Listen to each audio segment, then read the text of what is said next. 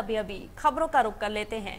राष्ट्रवाद के साथ विकासवाद और सेवावाद 2022 के चुनावी समर में बीजेपी के नए हथियार होंगे। पार्टी कार्यकर्ता प्रधानमंत्री नरेंद्र मोदी और मुख्यमंत्री योगी आदित्यनाथ की सत्ता की चाल ढाल चिंतन, सरोकारों, संकल्पों और सामाजिक समर्पण को लेकर लोगों के बीच जाएँगे। उनसे 2022 में प्रदेश में एक बार फिर बीजेपी सरकार बनाने के लिए मतदान का आह्वान करेंगे।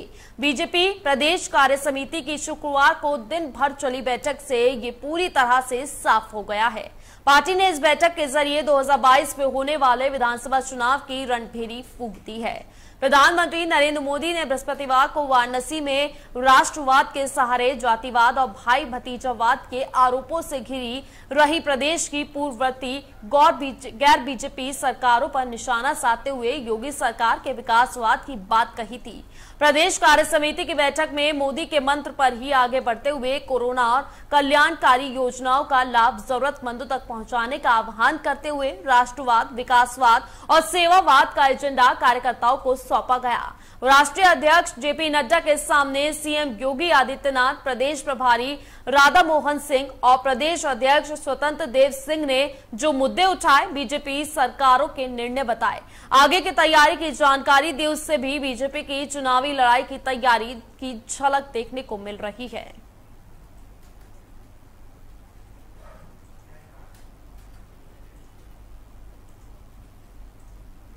विधायक नवजोत सिंह सिद्धू को कांग्रेस अध्यक्ष सोनिया गांधी द्वारा शुक्रवार को 10 जनपद स्थित अपने आवास पर बुलाए जाने की खबर फैलते ही पंजाब कांग्रेस में हलचल तेज हो गई है। इससे पहले कि यह बैठक शुरू होती, मुख्यमंत्री कैप्टन अमरिंदर सिंह ने भी अपने ओएसडी नरेंद्र भ्रमरी के हाथ सोनिया गांधी के नाम एक पत्र पहुँचा दिया। कैप्टन अमरिंदर सिंह ने प्रत्यक्ष तौर पर हाईकमान को चिताया कि व्यक्ति को आगे बढ़ाने की वजह से पार्टी का बंटवारा होने से रोका जाए। जानकारी के अनुसार कैप्टन का पत्र पहुँचते ही सिद्धू को लेकर बनी हवा थम गई और हाईकमान पत्र में कैप्टन द्वारा उठाए गए मुद्दों पर विचार करने में सरकार व्यस्त हो गई। पंजाब प्रदेश कांग्रेस के प्रधान पत्र को लेकर पार्टी मामलों के प्रभारी हरीश रावत ने गुरुवार को जब से नवजोत सिंह सिद्धू के नाम की गैर आधिकारिक घोषणा की, तभी से पंजाब कांग्रेस में हलचल तेज हो गई है। सिद्धू शुक्रवार सुबह पटियाला से दिल्ली रवाना हुए थे तो ये माना जाने लगा कि सोनिया गांधी उनसे मुलाकात के बाद विधिवत तौर पर उन्हें प्रदेश प्रधान घोषित कर देंगी। लेकिन सिद्धू के दिल्ली रवाना होते ही सांसद मनीष तिवारी ने भी ट्वीट कर प्रदेश प्रधान के पत्र पर हिंदू नेता की पैरवी कर डाली।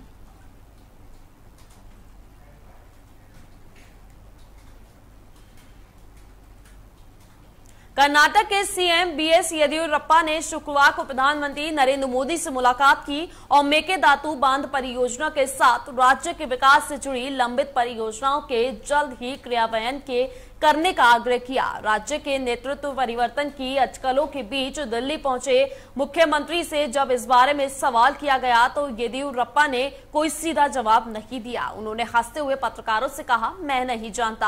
आप ही बताओ। मुख्यमंत्री ने कहा कि मैंने प्रधानमंत्री से राज्य के कुछ विकास कार्यो को जल्द ही क्रियान्वित करने का आग्रह किया है और इस पर मैं सहमत हो गए हैं। ये पूछे जाने पर कि क्या मेके दातु बाँध परियोजना पर भी प्रधानमंत्री से चर्चा हुई? येदियुरप्पा येदियुरप्पा ने कहा कि सभी मुद्दों पर चर्चा हुई है। मुख्यमंत्री ने कहा कि बेंगलुरु लौटने से पहले वो शनिवार को सारी जानकारी विस्तृत रूप से साझा करेंगे। बता दें, प्रधानमंत्री से मुलाकात से पहले भारतीय जनता पार्टी के नेता येदियुरप्पा ने दिल्ली पहुँचने पर कर्नाटक भवन में पत्रकारों को बताया था कि वो केंद्रीय गृह मंत्री अमित शाह और रक्षा मंत्री राजनाथ सिंह समेत कई केंद्रीय मंत्रियों से भी मुलाकात करेंगे। येदियुरप्पा का दिल्ली दौरा ऐसे समय में हुआ जब राज्य के नेतृत्व परिवर्तन को लेकर तमाम तरह की चर्चाएँ प्रदेश में चल रही हैं। प्रदेश में मंत्री परिषद में फेरबदल के बारे में पूछे जाने पर मुख्यमंत्री ने कहा कि इस बारे में यदि उनको शीर्ष नेताओं से कोई चर्चा होगी तो वो ज़रूर बताएँगे। साथ ही येदियुरप्पा के साथ दिल्ली दौरे पर राज्य सरकार का कोई अन्य मंत्री नहीं आया। बता दें, अलबत्ता उनके पुत्र बी आई राघवन ज़रूर आए हैं। येदियुरप्पा ने कहा कि मेकेदातु परियोजना किसी भी तरह से तमिलनाडु को प्रभावित नहीं करेगी और ये परियोजना निश्चित रूप से अस्तित्व में ही आएगी। तो बता दें, इस समय दिल्ली दौरे पर आए हुए हैं येदियुरप्पा और तमाम अटकलें लगाई जा रही हैं। हालाँकि येदियुरप्पा ने साफ़ कर दिया है कि जो भी जानकारी होगी वो शनिवार को यानी कि आज वापस लौटने से पहले पत्रकारों के साथ साझा करेंगे।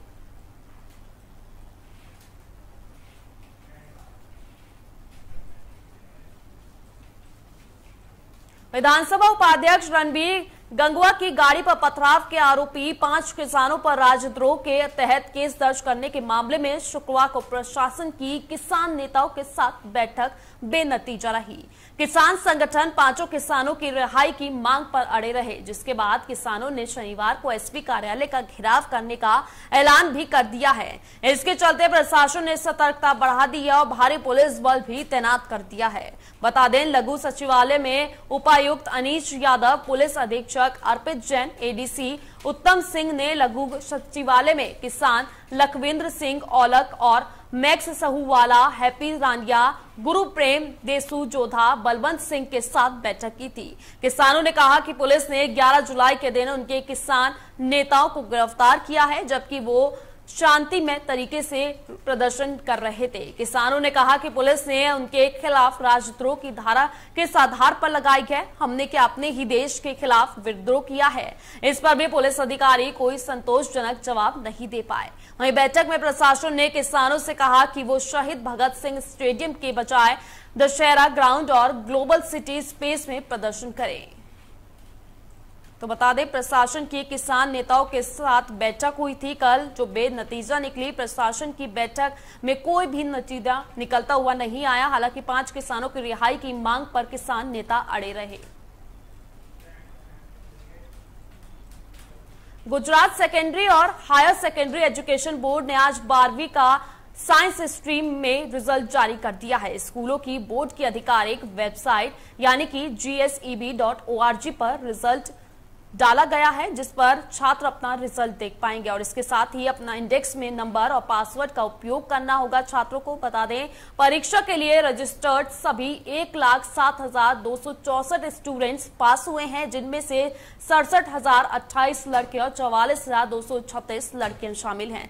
जबकि कुल तीन हज़ार दो सौ पैंतालीस स्टूडेंट्स ने ए वन ग्रेड और पंद्रह हज़ार दो सौ चौवन ने ए टू ग्रेड जबकि चौबीस हज़ार 700 से ज़्यादा बच्चों ने बी1 ग्रेड और छब्बीस हज़ार से ज़्यादा बच्चों ने बी2 ग्रेड हासिल किया है। बता दें, दो नवासी छात्रों को ई1 और चार छात्रों को ई2 ग्रेड भी मिला है। रिज़ल्ट केवल स्कूल चेक कर सकेंगे, साथ ही छात्रों को अपना रिज़ल्ट अपने सर्कुलर से ही लेना होगा। इसके साथ ही रिज़ल्ट का लिंक कुछ ही देर में एक्टिव कर दिया जाएगा। बता दें, कोरोना संकट के चलते गुजरात बोर्ड बारहवीं की परीक्षा रद्द कर दी थी। इसीलिए वैकल्पिक मूल्यांकन मानदंडों के आधार पर कक्षा 12 विज्ञान के रिज़ल्ट घोषित कर दिए गए हैं। बोर्ड ने रिज़ल्ट तैयार करने का फॉर्मूला पहले ही जारी कर दिया था। बता दें, बोर्ड रिज़ल्ट आज सुबह आठ बजे ही आधिकारिक वेबसाइट रिज़ल्ट डॉट जी एसईबी.org पर जारी कर दिया गया था। इसकी जानकारी बोर्ड ने शुक्रवार 16 जुलाई को आधिकारिक नोटिस के माध्यम से जारी की थी। तो बता दें, गुजरात बोर्ड ने बारहवीं कक्षा के साइंस स्ट्रीम के नतीजे जारी कर दिए हैं। हालाँकि वेबसाइट का लिंक भी जारी किया है, जिस पर जाकर छात्र जो हैं अपना रिज़ल्ट देख सकेंगे। कोरोना की वजह से बोर्ड के एग्ज़ाम नहीं किए गए थे, जिसके बाद गुजरात बोर्ड ने एक तरीका भी बताया था कि किस आधार पर बच्चों का रिज़ल्ट बनाया जाएगा।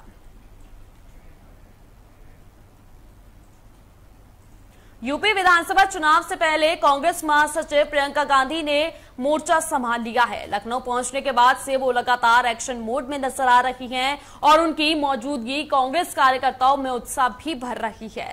प्रियंका गांधी आज अपने यूपी दौरे के दूसरे दिन लखीमपुर खीरी पहुंचेंगी, जहाँ वो रेप पीड़िताओं, बच्चियों के परिवार से मिलेंगी।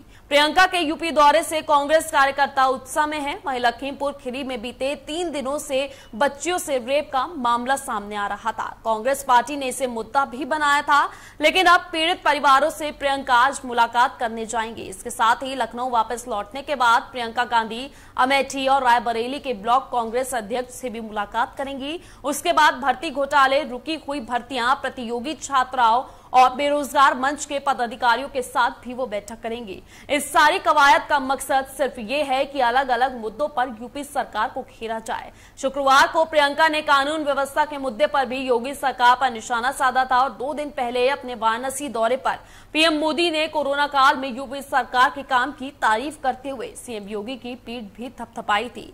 इस पर भी प्रियंका ने निशाना साधा तो बीजेपी ने उन्हें राजस्थान की याद दिलाने की कोशिश की। तो बता दें, अपने तीन दिवसीय दौरे पर प्रियंका गांधी कल लखनऊ पहुँची थी, जिसके बाद आज वो लखनऊ में लखीमपुर खीरी भी जाएँगी, जहाँ पर रेप पीड़िताओं के परिजनों से मुलाकात करेंगी। उसके बाद कई लोगों से मुलाकात का उनका पूरे दिन का कार्यक्रम है और लगातार यूपी सरकार को घेरने की तमाम मुद्दों पर कोशिश की जा रही है।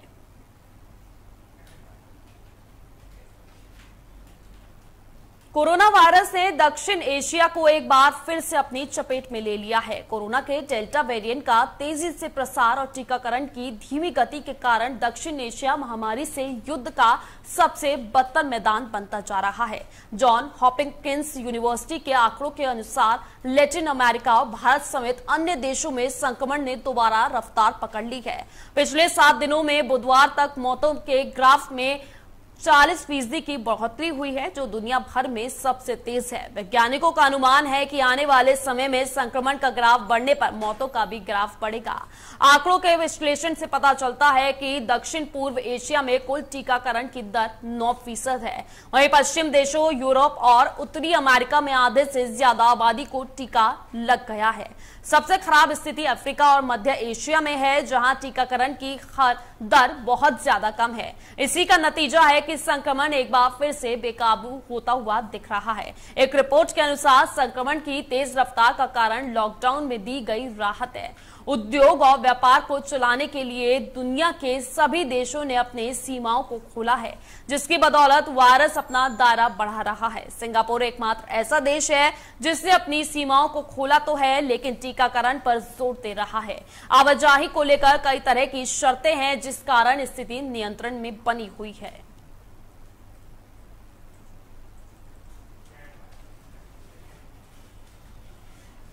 केंद्र शासित प्रदेश जम्मू कश्मीर और केंद्र शासित प्रदेश लद्दाख संयुक्त उच्च न्यायालय का नाम बदलकर अब जम्मू कश्मीर एवं लद्दाख उच्च न्यायालय कर दिया गया है। शुक्रवार को एक आदेश अनुसूचित, अधिसूचित किया गया था, जिसमें राष्ट्रपति रामनाथ कोविंद ने इस बदलाव को प्रभावी करने के लिए जम्मू कश्मीर पुनर्गठन आदेश 2021 पर हस्ताक्षर कर दिए हैं। विधि मंत्रालय में न्याय विभाग ने शुक्रवार को आदेश को अधिसूचित कर दिया।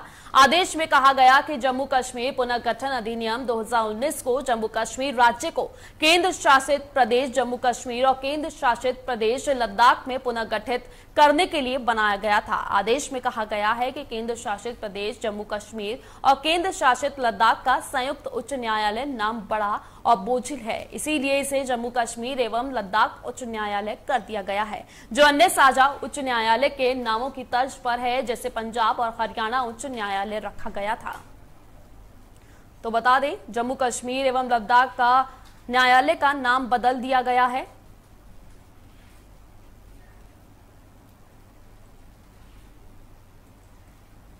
देश में कभी भी मॉडर्ना वैक्सीन की खुराक आ सकती है। सरकार ने अमेरिका को एक पत्र लिखा है, जिसका जवाब आना भी बाकी है। अगर इस पत्र में मौजूद कानूनी नियमों को लेकर आपसी सहमति बनती है तो उसके सप्ताह भर में मॉडर्ना वैक्सीन की पहली खेप भारत आ सकती है। शुक्रवार को टीकाकरण एम्पावर्ड ग्रुप के चेयरमैन डॉक्टर वीके पॉल ने कहा कि मॉडर्ना को दो सप्ताह पहले आपात इस्तेमाल की अनुमति दी गई थी। यही वो अभी प्रक्रिया में है। अमेरिकी सरकार से बातचीत चल रही है और कुछ कानूनी नियमों को पूरा करने के लिए पत्र व्यवहार किया गया है। फ़िलहाल स्थिति ये मान सकते हैं कि भारत में कभी भी मॉडर्ना वैक्सीन की पहली खेप पहुँच सकती है। दरअसल अमेरिका ने भारत को मॉडर्ना की करीब सत्तर लाख खुराक दान में देने का फैसला किया है। केंद्र सरकार को जब इसकी जानकारी मिली तो कंपनी से आवेदन कराया गया। इसके तुरंत बाद ही drug controller general of India ने मॉडर्ना वैक्सीन को आपातकालीन इस्तेमाल की अनुमति भी प्रदान कर दी इसी के साथ मॉडर्ना देश की चौथी कोविड वैक्सीन की बन गई है, लेकिन अनुमति देने के बाद भी अब तक इस वैक्सीन की एक भी खेप भारत को नहीं मिली है। इससे पहले अमेरिकी सरकार ने बयान जारी करते हुए कहा था कि भारत सरकार की ओर से देरी की जा रही है। उनके यहाँ वैक्सीन की खेप तैयार है। अगर भारत से जल्द ही उन्हें जवाब मिलता है तो वैक्सीन जल्द ही भारत पहुँचा दी जाएगी।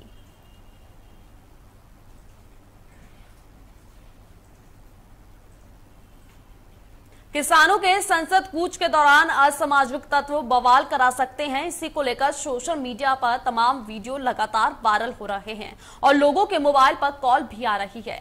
इसमें बवाल के लिए उकसाने वाली भड़काऊ बयानबाजी शामिल है। इस आशंका को देखते हुए खुफिया एजेंसियों ने सरकार को भेजी रिपोर्ट में सुरक्षा व्यवस्था बढ़ाने की सलाह भी दी है। वही रिपोर्ट के बाद छब्बीस जनवरी जैसी किसी अप्रिय घटना के मद्देनजर सुरक्षा बल सतर्क हो गए हैं।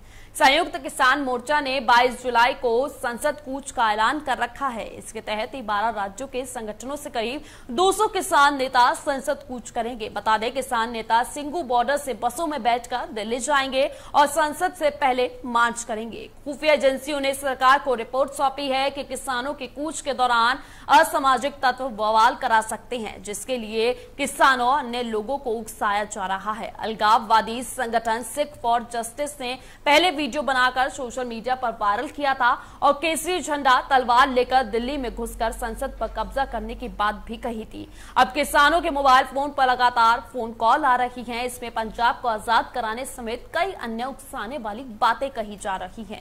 इसमें भी वही भड़काऊ बातें दोहराई जा रही है जो छब्बीस जनवरी के दौरान कही गई थी।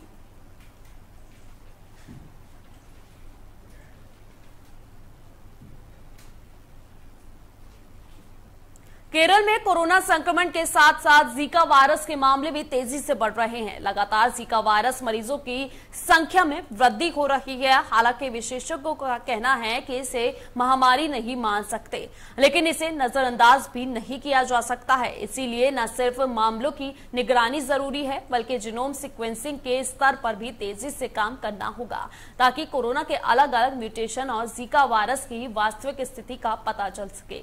नई दिल्ली स्थित मौलाना मौलाना आज़ाद मेडिकल कॉलेज के निदेशक डॉक्टर नरेश गुप्ता का मानना है कि जीका वायरस की जाँच प्रयोगशाला में होनी चाहिए। इस वायरस को लेकर भी चिंतित होने की ज़रूरत है। ये एक ऐसा वायरस है जो मच्छर के काटने से फैलता है और ये स्थानीय लोगों में बड़ी आसानी से फैल सकता है। इसीलिए अगर किसी प्रदेश या स्थान में जीका के मामले सामने आ रहे हैं तो उन राज्यों पर निगरानी रखने की आवश्यकता है। विशेषज्ञों का कहना है कि जीका वायरस सिर्फ़ केरल या दक्षिण राज्यों के लिए ही चिंता का विषय नहीं है, बल्कि पूरे देश के लिए चुनौती है, क्योंकि मच्छर जनित रोगों से सिर्फ़ एक ही नहीं, बल्कि सभी राज्य प्रभावित हैं। मलेरिया, डेंगू, चिकनगुनिया से संबंधित मामले हर साल देखने के लिए मिलते हैं। और इन्हीं की वजह से मरीजों की मौतें भी काफ़ी होती हैं। केवल केरल में ही अब तक अट्ठाईस से ज़्यादा मरीज़ सामने आ चुके हैं। जीका वायरस ज़्यादातर एडीज प्रजाति के मच्छर के काटने से फैलता है, जो डेंगू, चिकनगुनिया और पीले बुखार को फैलाता है, जबकि डॉक्टर गुप्ता ने प्रकोप की स्थानीय प्रकृति का हवाला देते हुए कहा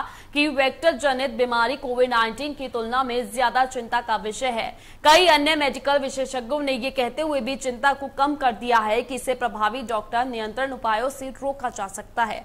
वहीं नई दिल्ली स्थित सीएसआईआर आईजीआईबी के वरिष्ठ वैज्ञानिक डॉक्टर विनोद सक्रिया का कहना है कि जीका वायरस को लेकर अब समय जीनोम सीक्वेंसिंग पर ज़ोर देने का है। संक्रमण के फैलने को लेकर मच्छरों की भूमिका का पता लगाना बहुत ज़रूरी है। वैज्ञानिक स्तर पर इसके अध्ययन होने चाहिए और अनुवांशिक महामारी को समझने के लिए सीक्वेंसिंग बहुत ज़्यादा ज़रूरी है।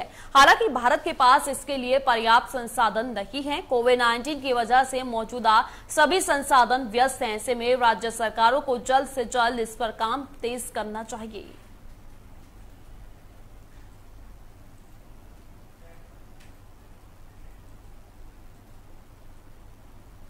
देश भर में मोबाइल फ़ोन चोरी की घटनाएँ सामने आती रहती हैं। लोग मोबाइल चोरी होने के बाद एफआईआर भी दर्ज करवाते हैं। कई लोगों को तो ये फोन्स मिल जाते हैं, लेकिन बड़ी संख्या में चोरी के मोबाइल फ़ोन नहीं वापस मिल पाते। ऐसे में राजधानी दिल्ली में चोरी हुए नब्बे हज़ार से ज़्यादा मोबाइल फोन्स को ब्लैकलिस्ट कर दिया गया है।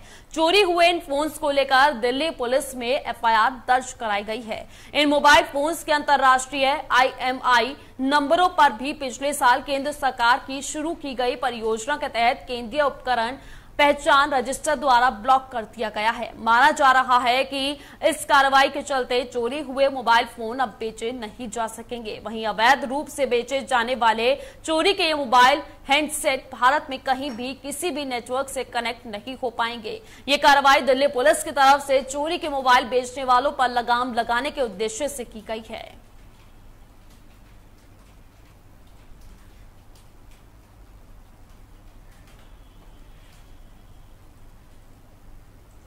भारत ने भारतीय फ़ोटो पत्रकार दानिश सिद्दीकी की हत्या की निंदा की है। समाचार एजेंसी रॉयटर के लिए काम करने वाले पुरस्कार विजेता भारतीय फ़ोटो पत्रकार दानिश सिद्दीकी की मौत शुक्रवार को अफ़गानिस्तान के कंधार प्रांत में पाकिस्तान से लगे एक बॉर्डर क्रॉसिंग के पास अफगान सैनिकों और तालिबान आतंकवादियों के बीच भीषण लड़ाई की कवरेज करने के दौरान हुई। यूएनएससीसी में विदेश सचिव हर्षवर्धन श्रृंखला ने कहा कि हम भारतीय फ़ोटो पत्रकार दानिश सिद्दीकी की हत्या की निंदा करते हैं। जब वो कल अफ़गानिस्तान के कंधार में रिपोर्टिंग असाइनमेंट पर थे, मैं उनके शोक संपद परिवार के प्रति अपनी गहरी संवेदना व्यक्त करता हूँ। वहीं दानिश सिद्दीकी का शव तालिबान ने अंतर्राष्ट्रीय रेड क्रॉस समिति को सौंप दिया है। सूत्रों ने शुक्रवार को कहा कि तालिबान द्वारा रेड क्रॉस समिति को शव सौंपे जाने की सूचना भारत को दे दी गई है और भारतीय अधिकारी पत्रकार के शव को वापस लाने के लिए काम कर रहे हैं। इस संबंध में एक सूत्र ने बताया कि हमें सूचना मिली है कि तालिबान ने शव आईसीआरसी को सौंप दिया है।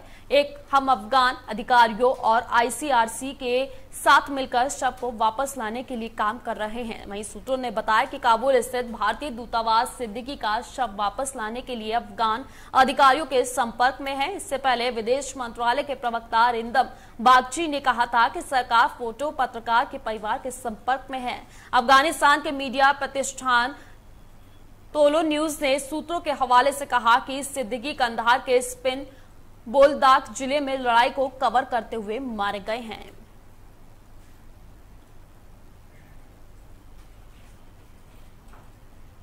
अगले साल 26 जनवरी को राजधानी दिल्ली में गणतंत्र दिवस की परेड का नज़ारा बेहद अलग और खास होने वाला है। अगले साल ये परेड दोबारा तैयार किए गए राजपथ पर आयोजित की जाएगी। बता दें, केंद्रीय आवास और शहरी मामलों के मंत्री हरदीप सिंह पुरी ने भी कहा है कि लोगों को एक ऐसा नज़ारा देखने के लिए मिलेगा जिस पर उन्हें गर्व होगा। अधिकारियों के अनुसार राष्ट्रपति भवन से इंडिया गेट तक सेंट्रल विस्टा एवेन्यू के रीडेवलपमेंट का काम इसी साल नवंबर तक पूरा होने की उम्मीद है। हरदीप सिंह पुरी ने कहा कि निर्माण कार्यों की स्थिति की समीक्षा की जाएगी, जिसके बाद उन्होंने अपने एक ट्वीट में लिखा कि सेंट्रल विस्टा एवेन्यू परियोजना के निर्माण कार्यों की आज समीक्षा की। इस दौरान मेरे साथ आवास और शहरी मामलों के मंत्रालय के सचिव अधिकारी सीपीडब्ल्यूडी के अधिकारी, कॉन्ट्रैक्टर और इस परियोजना के आर्किटेक्ट विमल पटेल भी मौजूद थे। निर्माण कार्य तक समय के अनुसार संतोषजनक तरीके से चल रहा है और नागरिकों को एक ऐसा एवेन्यू मिलेगा जिस पर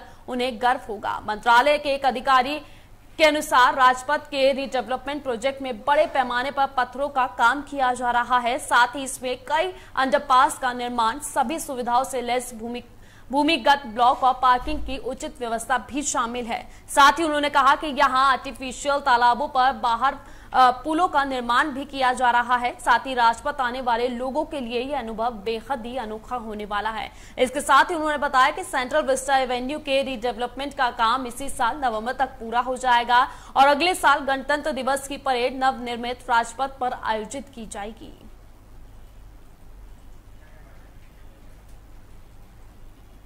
केंद्र सरकार ने शुक्रवार को दिल्ली हाईकोर्ट में कहा है कि देश में 12 से 18 वर्ष की आयु वर्ग के लिए जल्द ही जाइडस कैडिला की वैक्सीन उपलब्ध हो जाएगी। साथ ही केंद्र ने कोर्ट को बताया कि drugs controller general of India से वैक्सीन के इस्तेमाल की मंजूरी मिलने के बाद बच्चों के टीकाकरण को लेकर पॉलिसी तैयार कर ली जाएगी। Additional solicitor general Chetan Sharma ने चीफ जस्टिस डीएन पटेल और जस्टिस ज्योति सिंह की डिवीज़न बेंच ने बताया कि जायडस कैडिला ने 12 से 18 साल के बच्चों के लिए अपनी वैक्सीन जायकोव डी का ट्रायल पूरा कर लिया है। साथ ही उन्होंने कोर्ट से कहा कि दाखिल एक हलफनामे में कहा है कि वैधानिक प्रावधानों के बाद ये वैक्सीन जल्द ही उपलब्ध कराई जाएगी। साथ ही हाई उन्होंने कहा, हाईकोर्ट में बताया कि डीसीजीआई ने कोवैक्सीन निर्माता कंपनी भारत बायोटेक्स को दो से 18 साल की आयु वर्ग के लिए, वैक्सीन के लिए क्लिनिकल ट्रायल की अनुमति दे दी है।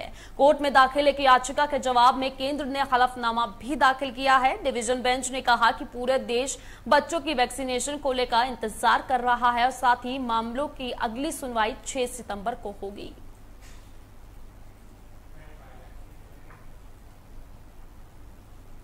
जापान की राजधानी टोक्यो में 23 जुलाई से ओलंपिक खेलों का आयोजन होने जा रहा है। ओलंपिक खेलों में हिस्सा लेने के लिए भारतीय दल आज रवाना होगा। बता दें, ओलंपिक खेलों में हिस्सा लेने जा रहे इस दिल, दल में कुल 90 खिलाड़ी शामिल हैं। भारत के कुछ खिलाड़ी दूसरे देशों में ट्रेनिंग करने के लिए के बाद सीधे टोक्यो पहुँच रहे हैं। वहीं भारत की ओर से टोक्यो ओलंपिक खेलों में 119 खिलाड़ी हिस्सा ले रहे हैं, जबकि भारत ओलंपिक संघ ने पहले की जानकारी इस बात की दे दी थी कि 199 खिलाड़ियों समेत 228 सदस्यों के दल को टोक्यो भेजा जाएगा। बता दें, भारत के लिए ओलंपिक खेलों में हिस्सा लेने जा रहे 119 खिलाड़ियों में से सड़सठ पुरुष खिलाड़ी हैं, जबकि बावन महिला खिलाड़ी हैं।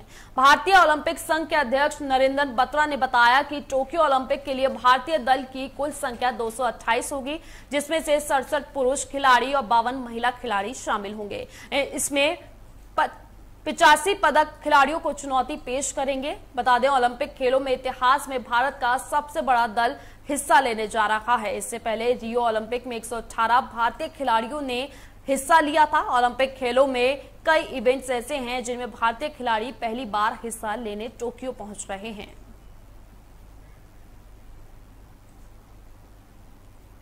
अंतर्राष्ट्रीय क्रिकेट परिषद ने टी ट्वेंटी विश्व कप मुकाबले के ग्रुप की घोषणा कर दी है। बता दें, शुक्रवार को ओमान में ग्रुपों का निर्धारण किया गया।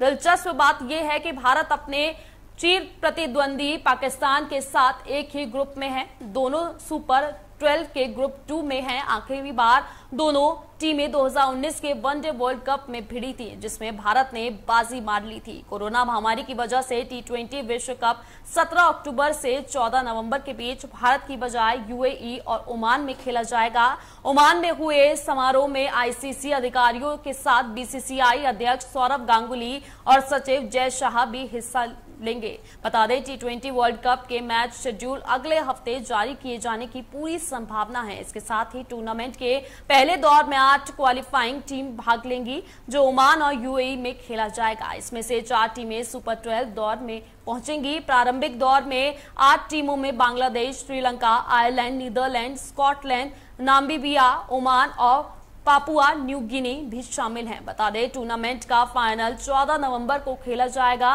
और आगामी टूर्नामेंट 2016 के बाद पहली टी विश्व कप को होगा। बता दें, पिछली बार वेस्टइंडीज ने इंग्लैंड को हराकर खिताब जीत लिया था भारत के सुपर टेन के ग्रुप मुकाबले में पाकिस्तान को छह विकेट से मात दी थी। वहीं सेमीफाइनल में भारत को वेंडीज के हाथों सात विकेट से हार भी झेलनी पड़ी थी। इस बुलेटिन में फ़िलहाल के लिए इतना ही। आप देखते रहिए न्यूज़ ऑल इंडिया